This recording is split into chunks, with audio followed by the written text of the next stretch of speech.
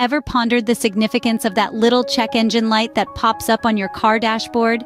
It might seem insignificant, but it's a beacon of important information that shouldn't be overlooked.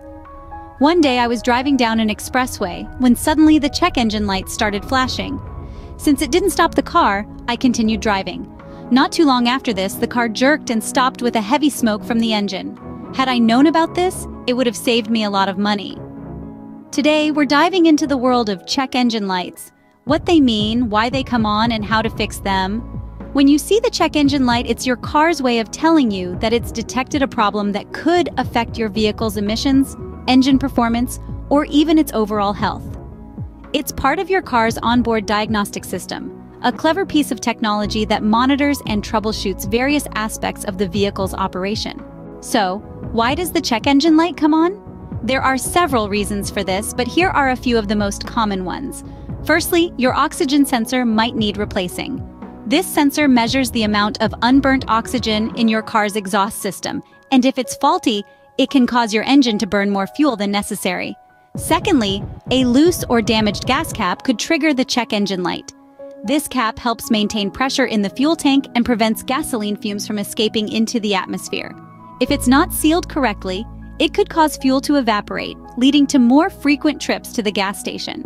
Thirdly, your catalytic converter, which helps protect our environment by converting harmful carbon monoxide into carbon dioxide, might be malfunctioning. If this is the case, your car will not pass an emissions test and will generally run at a higher temperature. Lastly, the check engine light might come on if your mass airflow sensor, or MAF, is faulty.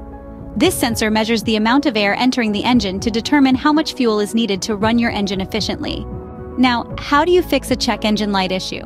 The solution depends on the problem.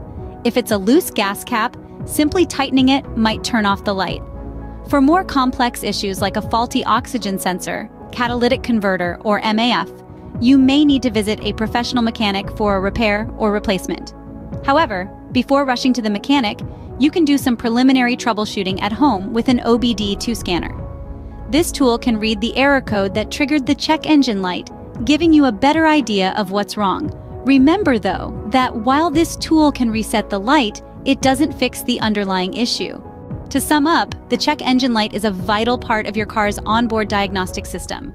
It can signal several issues ranging from a loose gas cap to serious engine problems.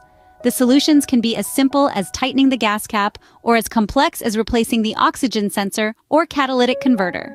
Home troubleshooting with an OBD2 scanner can provide insight into the problem, but for complex issues, professional help is advised.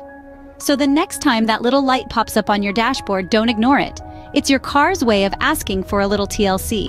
Remember, addressing these problems early can save you time, money, and potential headaches down the road.